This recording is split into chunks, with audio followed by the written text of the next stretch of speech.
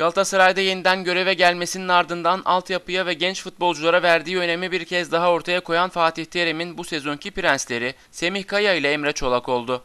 Sarı Kırmızılı ekibin altyapısından çıkan futbolculardan Semih Kaya ve Emre Çolak, teknik direktör Fatih Terim'in kendilerine verdiği forma şansını en iyi şekilde kullanırken, bu iki oyuncunun ortaya koydukları performans camianın da yüzünü güldürdü.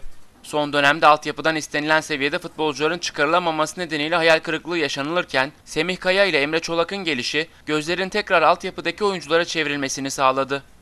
Galatasaray'ın 21 yaşında az kadrosuna girmeyi başaran genç oyunculardan Semih Kaya 31, Emre Çolak ise 30 maç oynayarak takımın önemli isimleri konumuna geldi.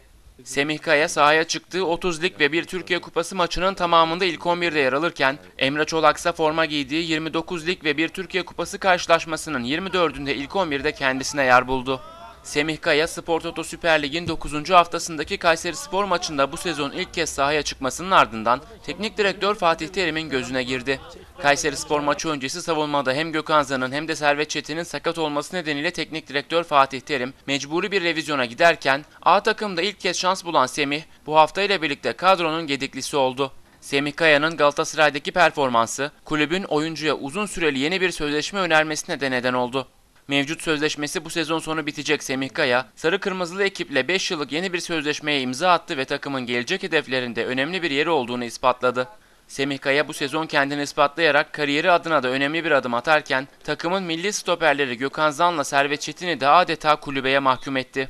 Spor Toto Süper Lig'in 14. haftasında Türk Telekom Arena'da yapılan Fenerbahçe derbisinde sürpriz bir şekilde ilk 11'de yer alan Emre Çolak, bu maçta sergilediği başarılı performansın ardından Fatih Terim'in ilk 11'de tercihi olmaya başladı. Fenerbahçe derbisine kadar ligin ilk 13 haftasında yedekler arasında başladığı 4 karşılaşmada oynama fırsatı bulabilen Emre, sadece 49 dakika sahada kalırken Fenerbahçe derbisiyle kariyerinde önemli bir çıkışa imza attı. Yıldızı parlayan genç ismin sözleşmesi de 2016 yılına kadar uzatıldı. Dediğim gibi yapacak